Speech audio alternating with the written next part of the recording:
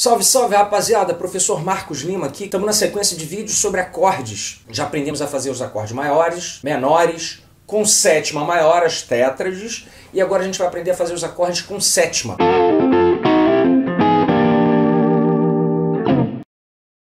Vamos lá, ah, toda semana um, um, uma aulinha nova aqui, eu explicando algum assunto guitarrístico, violonístico, formação de acordes, ritmos, levadas, acompanhamentos, escalas, solos. Então aproveita, se inscreve no canal e ativa a notificaçãozinha, porque aí você vai ser avisado, dá um like no vídeo, pede para mim aula, pode pedir, façam comentários, criticando se você achar que está muito rápido, que está muito devagar, que eu estou enrolando muito, tá? Me ajuda a fazer um conteúdo mais legal para vocês, porque a ideia aqui é trocar conhecimentos musicais. Beleza? Vamos lá. Então a gente agora vai aprender a fazer os acordes, as tétrades, com sétima. Primeira consideração. Gente, é, há uma diferença. Existe o acorde com sétima maior, que é esse que a gente tem que escrever, sétima maior, tem que escrever um M maiúsculo do lado. Né, meu amor? O que, que foi? Tem que escrever o sétima maior e tem o acorde com sétima, que é diferente do acorde com sétima maior. E na verdade, o sétima maior é porque ele tem a sétima maior e o sétima é porque ele tem a sétima menor. Só que a gente não escreve a sétima menor, a gente só bota sétima. Tá? A gente não faz assim, ó. Lá com sétima menor. Não, não. Apesar dele ter a sétima menor, a gente faz lá com sétima, tá? Para quem já está sacando o lance da, da formação dos acordes, dos intervalos.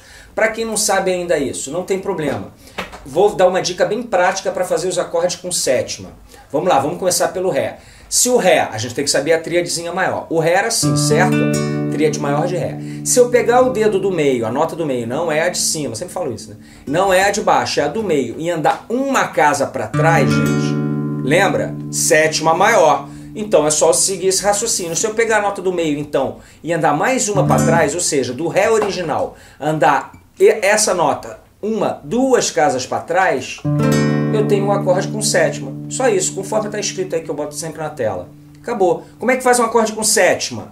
Pega a nota do meio e anda duas casas para trás. Lógico que você vai ter que mudar os dedinhos porque o dedo não vai pular, esse dedo não vai pular lá para trás, né, gente? Então, ó.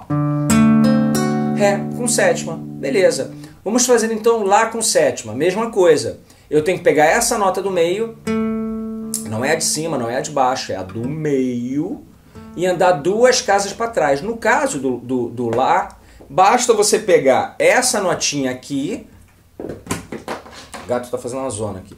Basta pegar essa notinha aqui e andar duas casas para trás. Nesse caso do Lá, andar duas casas para trás representa tirar o dedo. Você tira o dedo. É. Porque olha só, se eu andar uma casa para trás, eu tenho sétima maior. Se eu andar mais uma, sétima.